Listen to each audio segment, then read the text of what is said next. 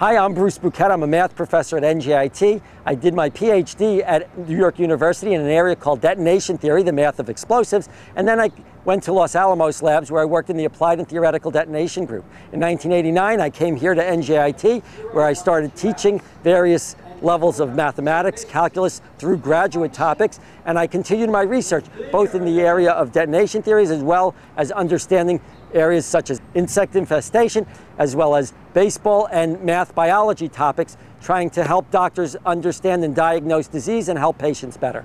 Currently, most of my work involves teacher education and helping train the new generation of math and science teachers to become uh, high school teachers and to inspire students to want to continue their studies in math and science beyond high school through college and maybe on to graduate school.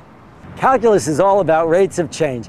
Many students have difficulty with many of the topics in calculus. So in order to help my students, I created these short previews and reviews of topics in Calculus 1.